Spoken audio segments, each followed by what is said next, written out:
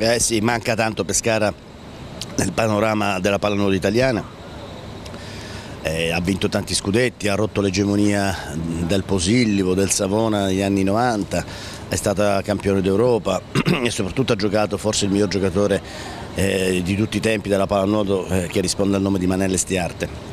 È un vero peccato, mi auguro che ci siano le condizioni nel prossimo futuro per rivederla in Serie A eh, perché ha cultura sportiva questa città, ha cultura palanotistica e soprattutto è dotato di un impianto che è, è bellissimo, sia il pala pallanuoto coperto che la piscina scoperta possono contenere tantissimi spettatori e quindi mi auguro che possa la pallanuoto d'alto livello ritornare qui a pescare. Siete qui eh, in Abruzzo per preparare le eh, Olimpiadi di Rio, eh, che Italia si eh, presenterà in terra sudamericana?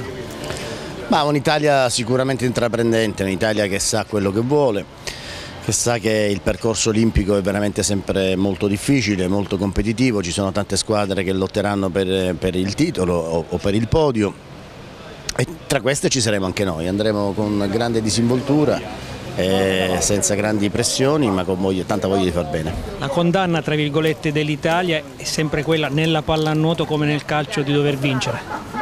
Allora, questi sono luoghi comuni, eh, non è che si può sempre vincere, certamente noi entriamo in, in piscina sempre con questa ambizione, tu la devi avere questa ambizione, poi ci sono anche gli avversari, sono anche molto molto forti, forse anche individualmente più forti dell'Italia. Possiamo fare qualche nome per esempio?